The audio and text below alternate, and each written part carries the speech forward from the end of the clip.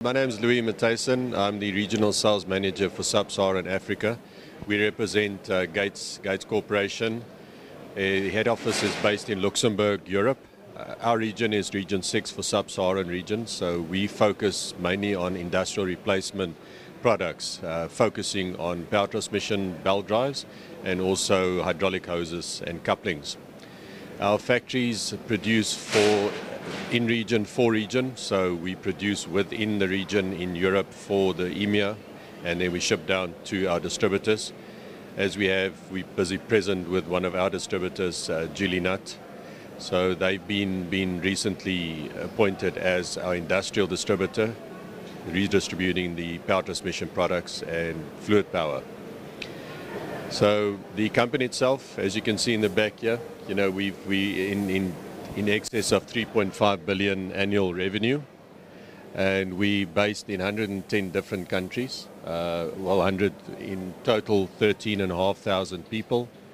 So in, in Africa, um, I'm based in the southern point, South Africa, Johannesburg, but we travel constantly to West Africa and obviously East Africa. Within our division, we have a distribution sales manager or district sales manager focusing on power transmission. What product are you exhibiting, sir? Well, as I mentioned before, we focus on industrial replacement. Our distributor traditionally has been an oil and gas distributor, but they've now focused more on the industrial side. So with the industrial side, we have two product ranges. One would be power transmission. As you can see here, it would be the agricultural belts. So if you look at, it's focused on combiner machines, you know, for maize, crop, corn. So that's harvesting the actual raw product from the land. You know, once the machine is operating, it requires belt drive systems in it. So you need these belts to transfer it. Very similar like a vehicle's uh, fan belt or a pump, a water pump belt. And from there, we would obviously go into the finer refinement. You know, once you got your maize product, it goes into the milling and refining process. That is where the TPU product uh, plays, plays a key role. Yeah, so on TPU for, for processing, you would get a variety of thermoplastic polyurethane belts. It's a timing belt that runs off pulleys.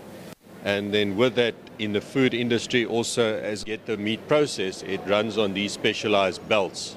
So the belts are specially manufactured to withstand bacterial, you know, infestation. So it, it's easy sterilized. So that can be used in meat packing industry. It can also be used in bakeries where they do baking bread.